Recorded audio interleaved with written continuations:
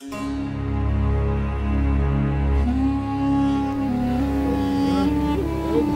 you.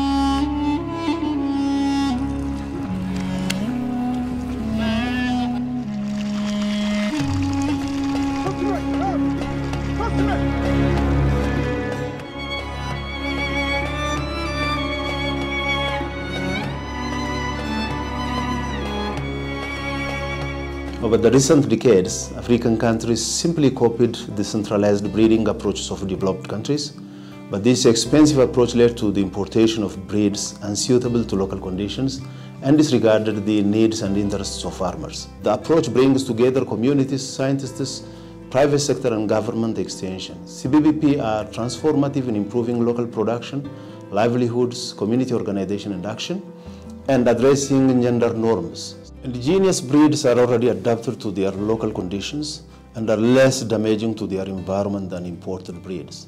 Farmer training, pooling community work, scientific support and monitoring are key aspects of the approach, along with strengthening marketing and value chains.